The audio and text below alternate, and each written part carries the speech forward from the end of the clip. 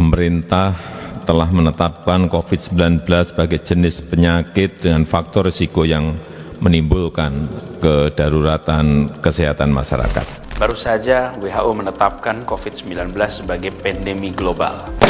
Semua negara dunia sedang berduka akibat virus corona yang merajalela. Para medis sebagai pasukan garda depan sedang berjuang untuk membantu manusia dari keganasan virus yang merenggut nyawa. Saatnya semua bersatu bahu-membahu melawan corona dan berjuang membebaskan ibadah itu ada dua syarat. Syarat pertama apa? Benar sesuai dengan petunjuk alamin. Wa asyhadu an la ilaha illallah wahdahu la syarikalah. Wa asyhadu anna Muhammadan abduhu wa rasuluh sallallahu alaihi wa ala alihi wa sahbihi wa sallama tasliman katsira. Thumma amma ba'd. Alhamdulillah kembali kita akan melanjutkan pembacaan kitab Khut Aqidatak kita sampai pada pertanyaan yang ke-16. Penulis menyampaikan pertanyaan halisyirku maujudun fi hadhil ummah. Apakah kesyirikan itu ada di tengah umat Muhammad sallallahu alaihi wasallam? Jawaban yang beliau sampaikan, "Na'am maujudun." Betul, syirik itu ada. Ada di tengah umat Muhammad sallallahu alaihi wasallam. Wad dalilu qauluhu ta'ala. Dan dalilnya adalah firman Allah Ta'ala di surat Yusuf ayat 106 wa ma yu'minu aktsaruhum billahi illa wa hum musyrikun. Dan kebanyakan di antara mereka tidaklah beriman kepada Allah kecuali mereka juga berbuat syirik wa qala sallallahu alaihi wasallam dan Nabi sallallahu alaihi wasallam bersabda la taqumu sa'atu hatta talhaqa qabailu min ummati bil musyrikin. Tidak akan terjadi kiamat sampai beberapa kabilah di antara umatku mereka mengikuti kaum musyrikin. Wa hatta ta'budal awthan dan sampai beberapa kabilah di antara umatku menyembah berhala. Hadis sahih riwayat Tirmizi jamaah yang dimuliakan Allah taala kenapa penulis menyampaikan pertanyaan yang ke-16 ini yang isinya adalah mengenai keberadaan syirik di tengah umat Nabi Wasallam. Apakah syirik ada di tengah umat ini? Apa latar belakang pertanyaan ini? Latar belakang pertanyaan ini karena orang sufi punya pemahaman bahwa syirik sudah tidak ada di tengah umat Muhammad sallallahu alaihi wasallam. Dalam arti ketika masyarakat sudah masuk Islam, dan mereka menjadi seorang muslim maka mereka tidak akan pernah lagi berbuat syirik sehingga perbuatan yang mereka lakukan baik bentuknya berdoa di kuburan atau memberikan sajen di tempat-tempat tertentu itu adalah perbuatan yang tidak bisa dinilai oleh kesyirikan siapa yang menuduh perbuatan seperti ini sebagai kesyirikan maka dia wahabi ini yang disampaikan oleh orang-orang sufi karena itulah penulis membawakan dalil atau menyampaikan pertanyaan ini bahwa apakah syirik itu ada di tengah umat? Jawabannya ada.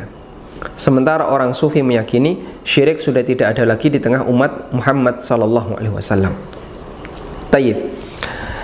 Yang dimaksud umat di sini adalah ummatul ijabah. Karena umat itu ada dua makna. Yang pertama adalah ummatul dakwah dan yang kedua ummatul ijabah. Saya tuliskan umat Nabi wasallam itu ada dua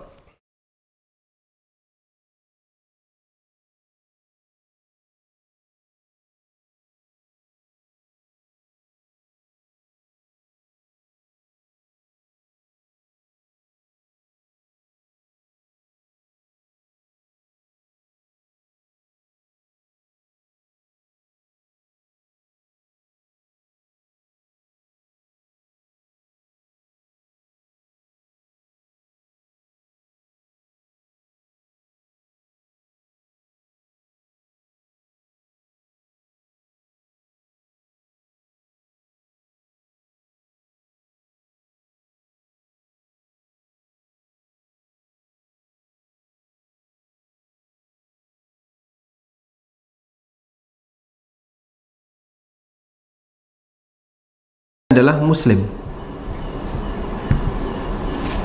Umat dakwah adalah umat yang menjadi sasaran dakwah beliau.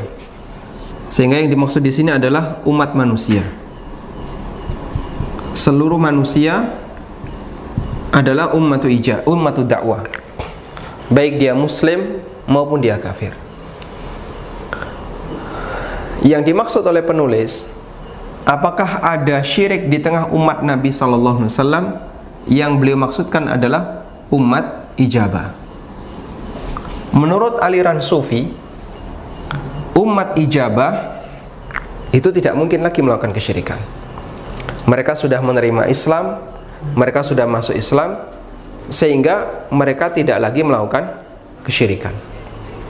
Karena itulah dalam kondisi seperti ini, ketika dia sudah menjadi umat ijabah, pelanggaran apa pun yang mereka lakukan, baik bentuknya sajen di kuburan, berdoa di kuburan, memberikan ketergantungan hati kepada sahibul kubur, tidak bisa disebut sebagai, sebagai perbuatan kesyirikan.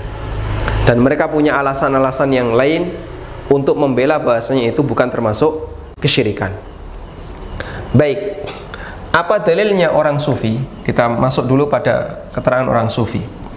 Apa yang di, uh, yang menjadi dalil orang sufi sehingga sampai mereka mengatakan nggak ada lagi kesyirikan di tengah umat Nabi SAW dalam arti adalah umat ijabah yaitu kaum muslimin. Ada sebuah hadis di mana Nabi Shallallahu Alaihi Wasallam pernah mengatakan, Inna syaitana qad ayisa ay ya'budahu al-musalluna fi jaziratil Arab. Lakin at-tahrisha bainahum. Kalimatnya seperti ini. Inna syaitana qad aisa ay ya'budahu al-musallun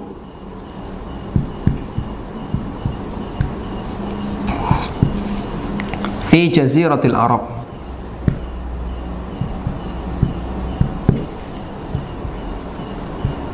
Hadisnya muttafaqun alaih, hadis riwayat Bukhari Muslim.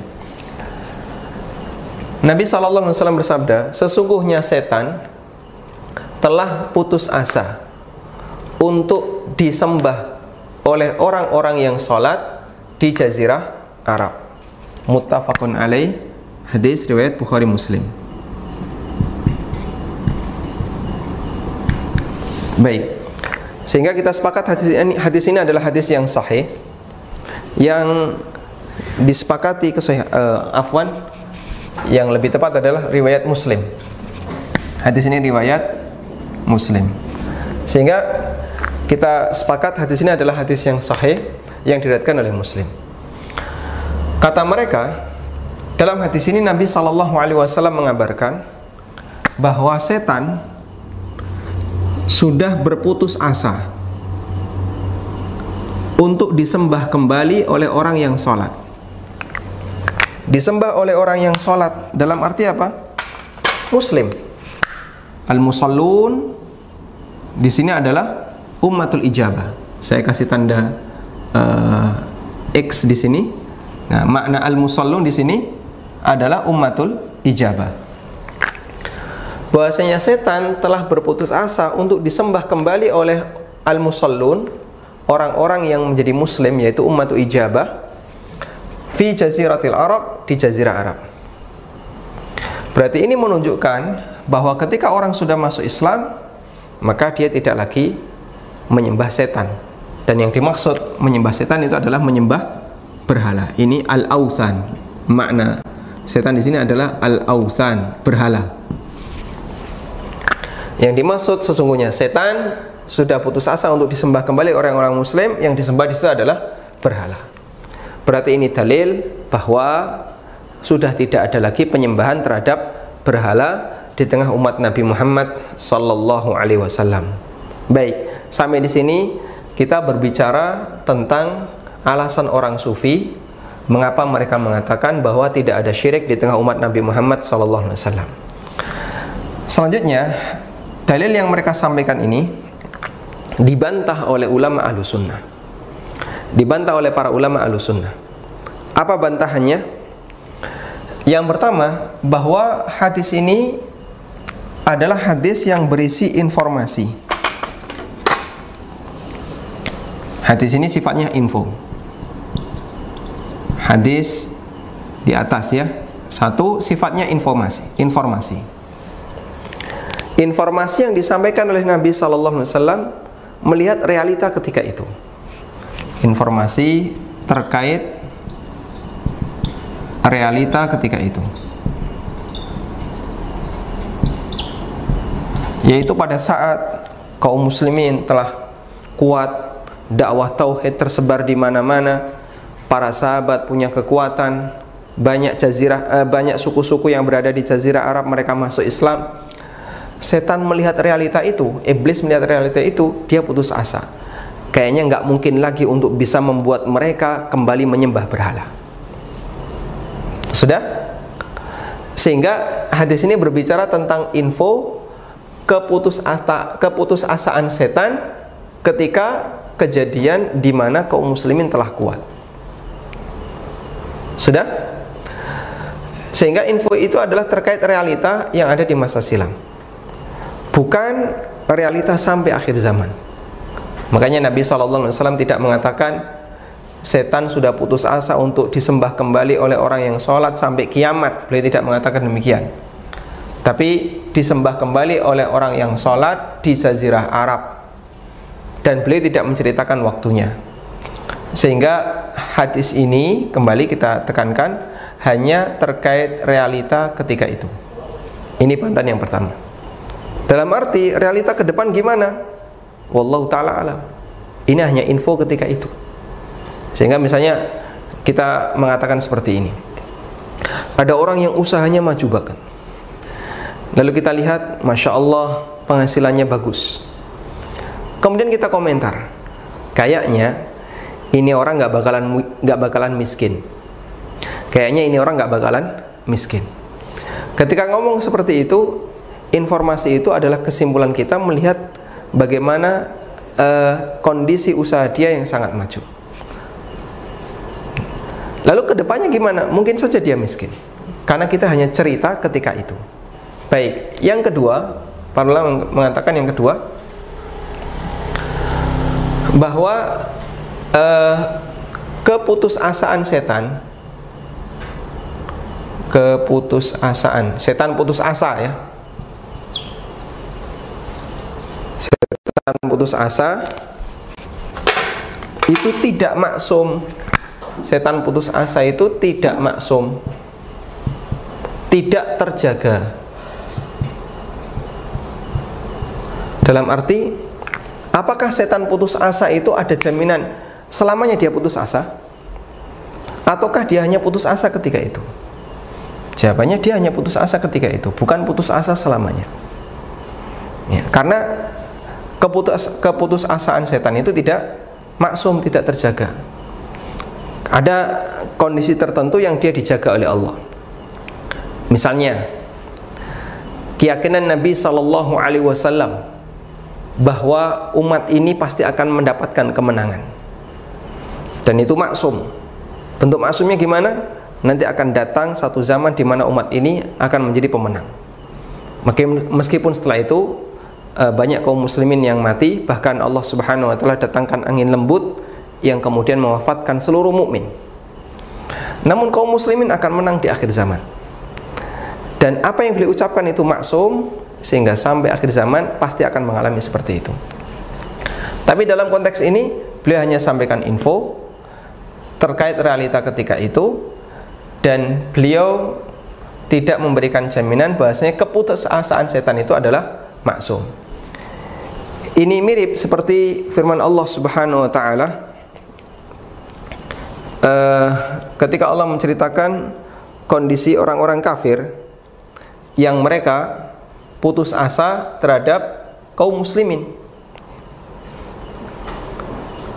Dan keputusasaan orang kafir ketika melihat kaum muslimin itu disebabkan karena perkembangan kaum muslimin yang sangat sangat hebat sehingga mereka putus asa kayaknya nggak mungkin lagi bisa menyesatkan kaum muslimin.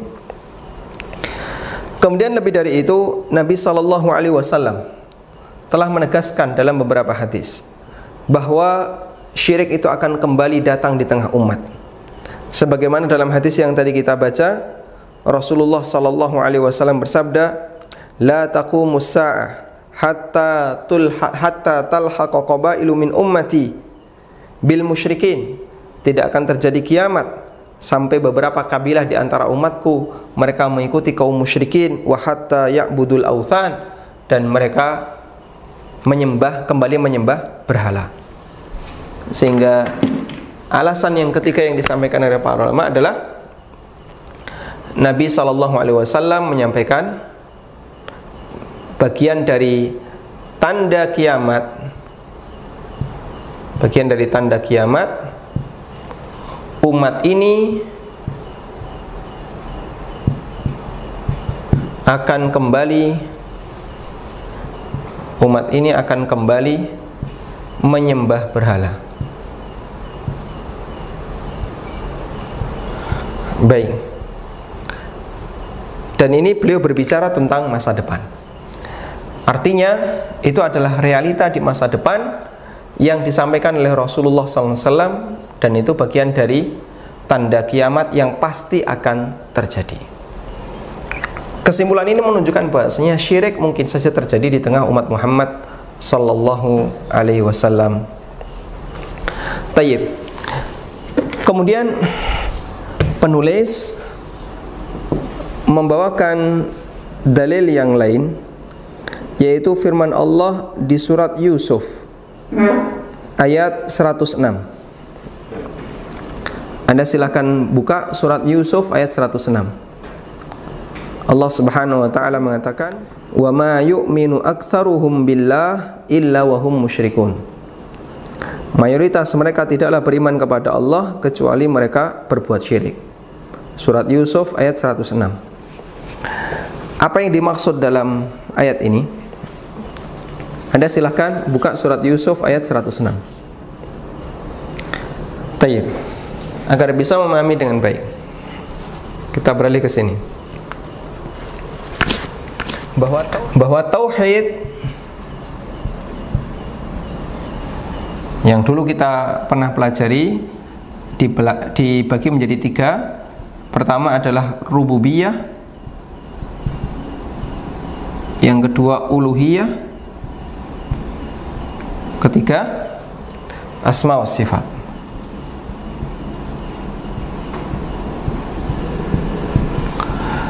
Tauhid rububiyah Intinya adalah meyakini bahwasanya Allah subhanahu wa ta'ala.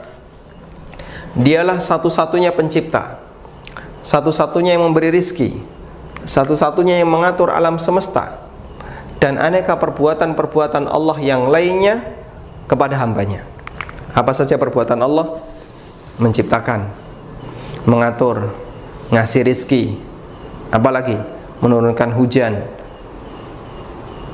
uh, mematikan menghidupkan Allah Ta'ala yang mengatur semuanya dan itulah uh, bagian dari rububiyah Allah. Meyakini bahasanya satu-satunya yang mampu seperti itu hanyalah Allah, itu bagian dari tauhid rububiyah. Tayyib. Dan orang musyrik mengakui hal itu. Orang musyrikin Quraisy yang hidup di zaman Nabi SAW mereka punya keyakinan akan ini. Dan bahkan orang yang memiliki berkeyakinan punya Tuhan dan dia tahu Tuhannya maha kuasa atas segala sesuatu dia punya keyakinan bahwa Allah lah satu-satunya yang menciptakan mengatur alam, memberi rizki dan seterusnya kemudian Tauhid Uluhiyah Tauhid Uluhiyah itu berbicara kewajiban hamba kepada Allah Ta'ala yaitu apa?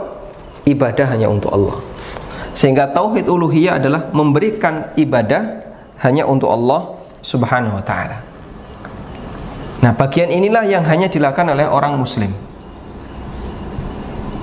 Sedangkan non muslim, orang musyrik, Yahudi dan Nasrani, mereka tidak mau melakukan tauhid uluhiyah karena mereka ketika beribadah bercabang selain kepada Allah, mereka juga beribadah kepada berhala-berhala.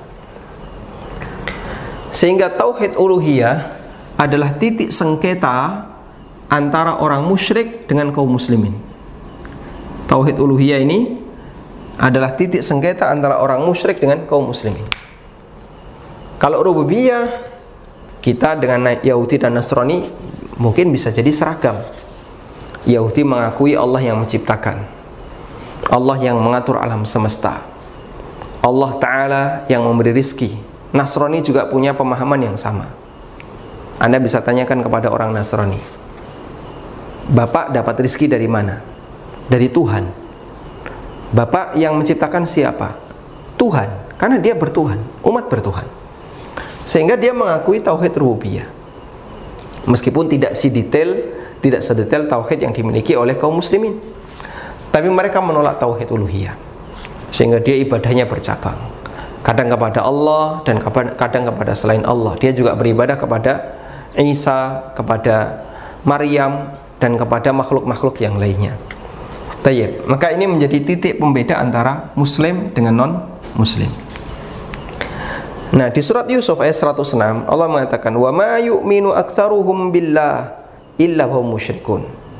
Dan mayoritas mereka yaitu orang-orang musyrikin tidaklah beriman kepada Allah kecuali mereka juga berbuat syirik.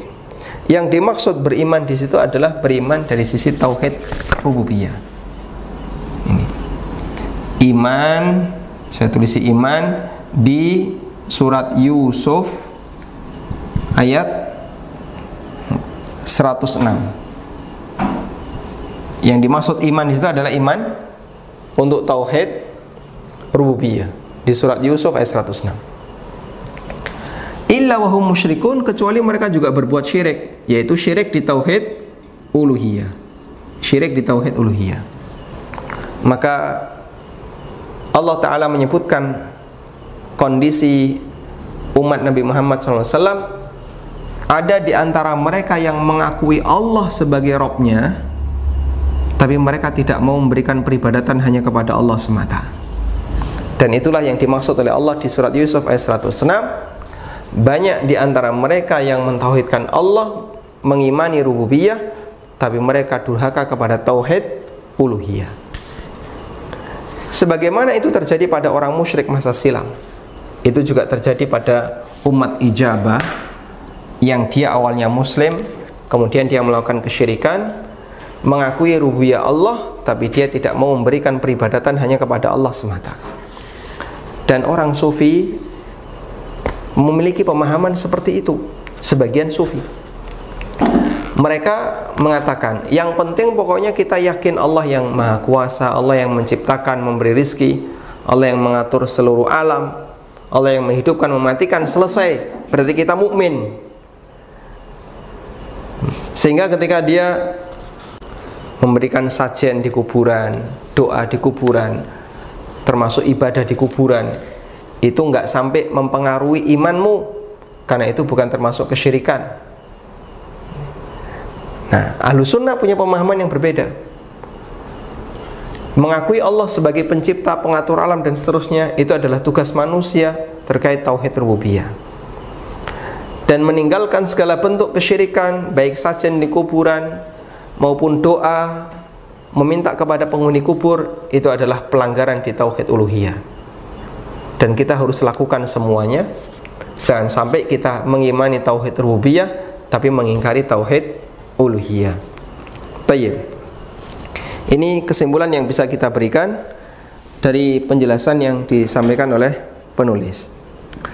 Bahwa kesyirikan itu ada di tengah umat ini ada di tengah umat Muhammad sallallahu alaihi wasallam dan itu terjadi pada kaum muslimin yang merupakan umat ijabah Disebutkan pula dalam hadis riwayat Bukhari Muslim, Nabi sallallahu alaihi wasallam bersabda, "La yadhhabul lail wan nahar hatta tu'badal lat wal uzza."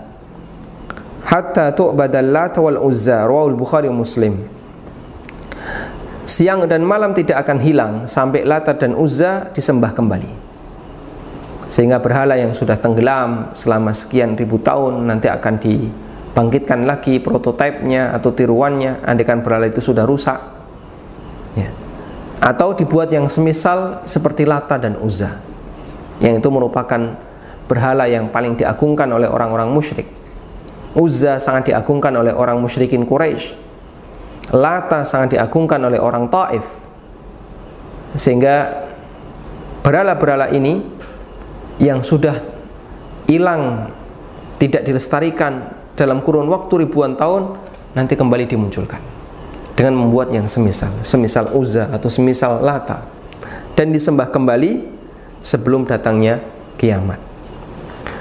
Yang ini menunjukkan bahasanya mungkin saja terjadi perbuatan kesyirikan di tengah umat Nabi Muhammad sallallahu alaihi wasallam dan iblis e, merasa putus asa tidaklah menunjukkan kalau kesyirikan itu tidak ada di tengah umat Nabi Muhammad SAW karena keputusasaan iblis itu tidak abadi.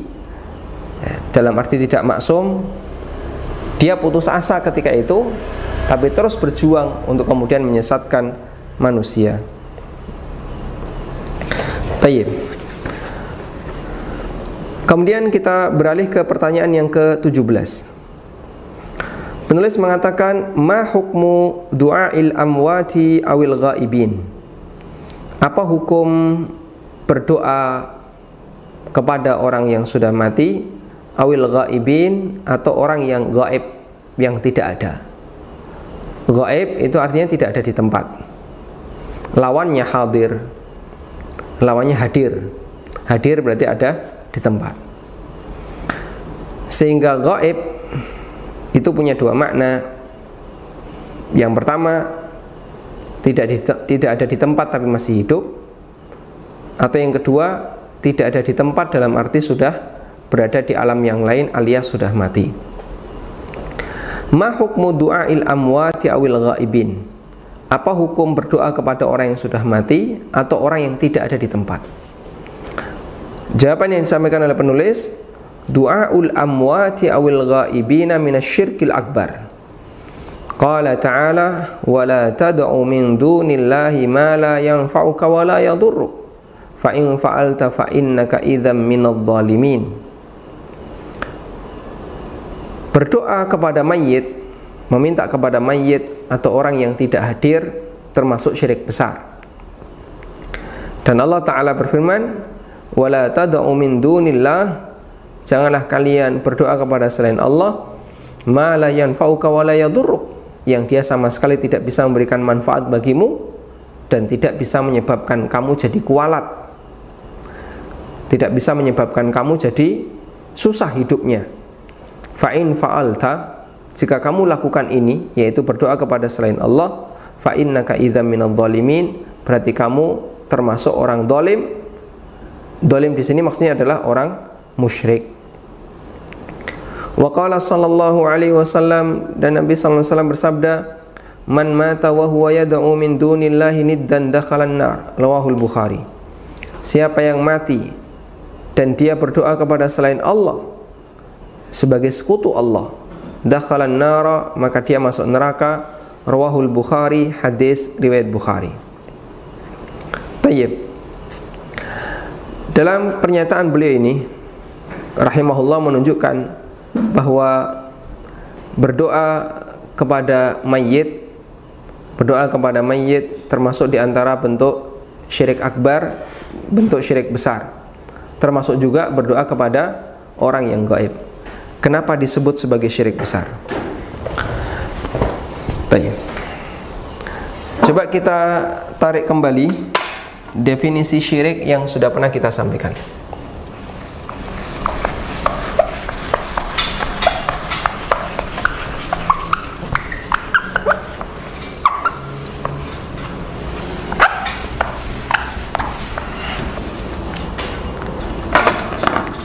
Pada pertemuan kemarin kita telah menyampaikan definisi syirik. Syirik adalah kita ulang ya definisinya.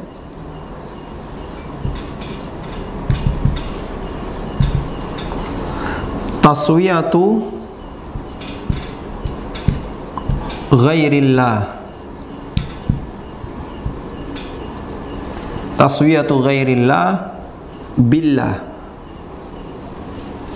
fi syai'in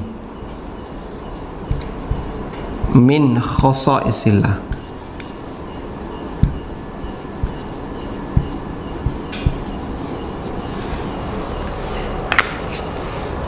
Coba kita lihat taswiyatu ghairillah menyamakan selain Allah.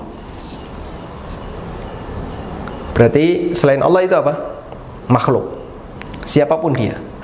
Apa pun jenisnya, baik dari kalangan manusia, malaikat maupun jin. Disamakan dengan siapa? Dengan Allah. Bukan menyamakan makhluk dengan makhluk, tapi disamakan dengan Allah. Dalam hal apa?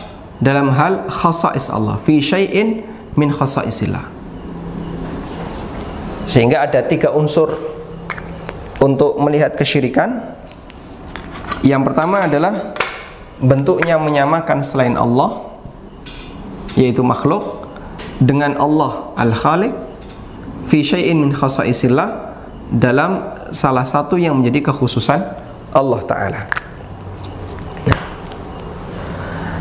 Di antara sifat yang itu menjadi khusus milik Allah taala yang tidak dimiliki oleh makhluk adalah As-Sami' Allah Subhanahu wa taala memiliki nama As-Sami' Dat yang maha mendengar. Dan pendengaran Allah adalah pendengaran yang sempurna. Mendengar seluruh suara Baik yang pelan maupun yang keras Baik yang ada di dekat maupun yang ada di jauh. Allah mendengar seluruh suara hambanya. Sehingga Ketika orang bisik-bisik Allah dengar. Ketika orang gerememeng Allah dengar. Sampai uh, Aisyah radhiyallahu anha pernah mengatakan ketika turun firman Allah di surat Mujadilah qad sami Allahu qawlan lati tujadiluka fi zawjiha wa tashtaki ila Allah. Sungguh Allah telah mendengar. Qad sami Allahu qawlan lati tujadiluka. Perkataan seorang wanita yang dia mendebat kamu wahai Muhammad. Fi zaujiha tentang suaminya. Wa tashtaki ilallah dan dia mengadu kepada Allah taala. Wanita ini datang kepada Nabi sallallahu alaihi wasallam lalu beliau temui di depan rumah, di luar rumah. Kemudian dia mengadukan suaminya, "Ya Rasulullah, suami saya begini, begini, begini." Lalu dia mendihar saya. Dia mendihar saya yaitu menyamakan saya sebagaimana ibunya. Disebut dihar dari kata dohron yang artinya punggung. Punggungmu seperti punggung ibuku. Dalam arti kamu haram bagiku. Padahal ya rahimku ini telah melahirkan sekian untuk sekian anak untuknya. Ya. Sehingga dia sebutkan posisi dia. Gandeng wis tua, begitu wanita ini sudah sudah tua dan suaminya sudah tidak punya selera, ngomong kayak gitu. Dan Allah mengatakan qad sami Allah qaulal lati tujadiluka fi zawjiha. Allah dengar perkataan wanita ini ketika dia mengadukan suaminya kepadamu. Kata Aisyah radhiyallahu anha, waktu itu saya berada rumah. di dalam rumah. Lamat-lamat enggak dengar suara dengan suara jelas. dengan jelas. Allah Subhanahu wa taala mendengar perkataan wanita ini dan dia berada di atas langit yang ketujuh berada di atas arsh sehingga Allah Ta'ala pendengarannya meliputi segala sesuatu baik karena itu jika ada orang yang meyakini ada makhluk yang punya pendengaran yang meliputi segala sesuatu berarti dia menyamakan selain Allah dengan Allah dalam masalah mendengar segala sesuatu. Ini guru. Nah, guru ini ada di Banyuwangi. Nah, ada di Banyuwangi. Ini murid murid ada di Jakarta. Sang murid memanggil gurunya wahai guru tolonglah aku. Wahai guru tolonglah aku. Aku dalam kondisi terjepit. Bismillah bismillah wahai guru tolonglah aku. Kemudian kakinya diinjakkan ke tanah gedruk tiga kali. Nah, maka nanti kamu akan mendapatkan pertolongan dari gurumu. Itu tidak mungkin terjadi kecuali murid itu punya keyakinan bahwa gurunya maha mendengar. Tidak mungkin itu terjadi kecuali sang guru punya keyakinan, eh, sang murid punya keyakinan gurunya maha mendengar. Guru itu mendengar ucapan saya, meskipun nggak lewat telepon, nggak pakai HP, nggak pakai Zoom, nggak pakai Skype. Tapi sang murid yakin guru itu mendengar pengaduan yang saya sampaikan. Berarti di posisi ini dia telah menyamakan selain Allah dengan Allah dalam hal yang menjadi kekhususan Allah. Itulah sisi syiriknya Kenapa disebut berdoa kepada gaib di Banyuwangi kan berarti ini gaib. Terpisah dalam jarak yang sangat jauh. Yang satu Jawa di ujung kulon, yang satu Jawa di ujung timur. Terpisah dalam jarak yang sangat jauh. Tapi sang murid meyakini kalau guru mendengar. Berarti itu tidak mungkin dialami kecuali karena murid punya keyakinan sang guru adalah as-sami. Contoh yang lain. Ini mayit. Lalu orang berdoa Di dekat kuburannya. Ini uh, Apa misalnya? Si A Datanglah si A yang berasal dari daerah Jawa Barat ke kuburan Sunan yang berada di Surabaya.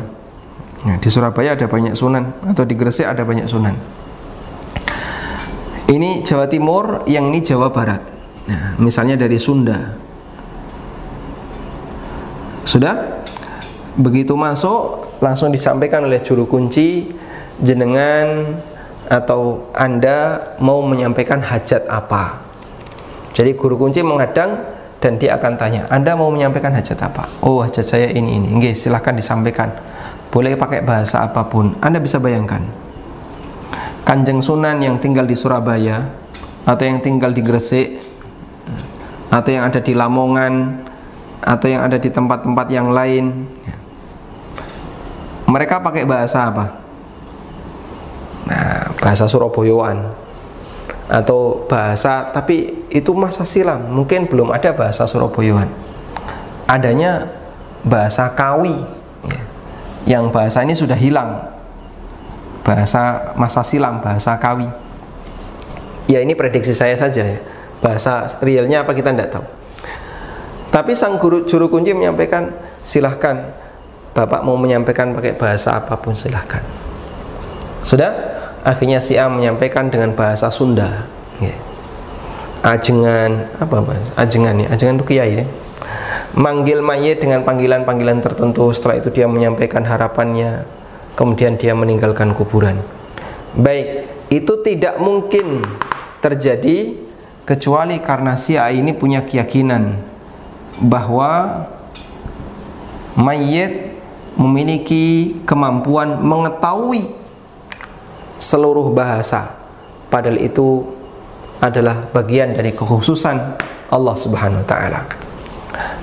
Atau dia punya keyakinan bahwa Allah, bahwa dia meliputi segala sesuatu ilmunya. Dan itu adalah turunan dari nama Allah Al-Muhit. Dan Muhit ahata bikulli syai'in ilma, Allah meliputi segala sesuatu ilmunya. Itu bagian dari kekhususan Allah. Jika si A meyakini seperti itu berarti dia syirik. Apalagi Anda bisa bayangkan mayat itu berada di tempat yang sangat dal yang dalam ya. Eh, meskipun ini masih mukhtalaf apakah bisa mendengar ataukah tidak. Namun yang lebih jelas adalah bagian ini. Si A menyatakan dengan sebuah bahasa yang bahasa itu 100% berbeda dengan bahasanya si mayit tapi dia yakin kalau mayat bisa mendengar dan memahami bahasanya. Mayat paham apa yang saya ucapkan dan itu tidak mungkin terjadi kecuali karena diiringi keyakinan bahwa mayat punya kemampuan untuk memahami segala sesuatu dan itu menyamakan selain Allah dengan Allah dalam hal yang menjadi kekhususan Allah. Apa ini? Kesyirikan. Tayyib. Nah, di situlah penulis mengatakan bahwa uh, berdoa kepada mayit dan orang yang tidak hadir di tempat atau yang disebut dengan gaib termasuk di antara bentuk kesyirikan Dan Nabi Shallallahu Alaihi Wasallam bersabda, siapa yang mati sementara dia pernah berdoa kepada selain Allah yang menjadi sekutunya, yang dijadikan sebagai sekutu Allah, dakhalan nar, maka dia mendapatkan ancaman masuk neraka. Wallahu taala alam. Semoga ini semakin menambah keimanan kita dan keteguhan kita untuk selalu berada di atas jalan yang hak dan waspadai dengan propaganda orang-orang yang mengajak masyarakat untuk menggantungkan harapannya kepada orang yang sudah mati sehingga dia punya Tuhan malah dilupakan. Lebih ramai ketika dia atau lebih serius ketika dia meminta kepada penghuni kubur makanya orang seperti ini aneh. Ketika Ramadan mereka itu nggak iktikaf tapi pada musim tertentu mereka itu Masya Allah ya kadang iktikaf di kuburan. Ya, bahasa lainnya bertapa nyari wangsit dia kalau doa di masjid hanya berbekal amin. Amin amin amin amin amin amin ya rabbal alamin padahal kalau sudah di kuburan itu khusyuknya luar biasa bahkan bisa nangis. Makanya juru kunci begitu kedatangan orang yang mau takziah biasanya tanya dulu jenengan mau hajat apa? Ya. kemudian nanti bayar sekian rupiah kepada juru kunci. Wallahu ta'ala alam demikian semoga Allah ta'ala memberkahi apa yang kita pelajari wa ala nabiyyina Muhammadin wa ala alihi wa sahbihi wa sallam. Wa akhiru da'wana alhamdulillahi rabbil alamin. Wassalamualaikum warahmatullahi wabarakatuh.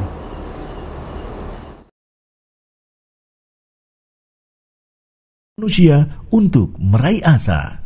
Salurkan donasi Anda kepada para pejuang dan masyarakat yang terdampak corona melalui Yayasan Mulia Rubani BNI Syariah rekening 0388 008 009 untuk konfirmasi 0813 2969 5359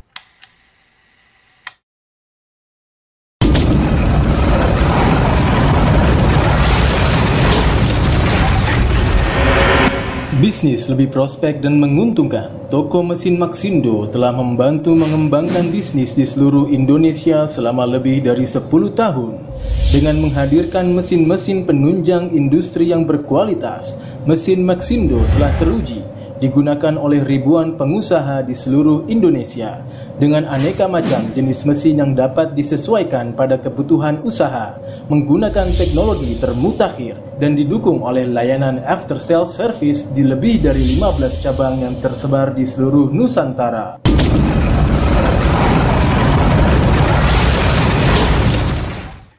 Seiring dengan gagal orbit satelit Palapa, maka off pula semua TV yang ada di Palapa. Sekarang saatnya Anda saksikan TV-TV Islam dan Niaga TV di satelit Telkom 4 pada frekuensi 3721, simbol red 32727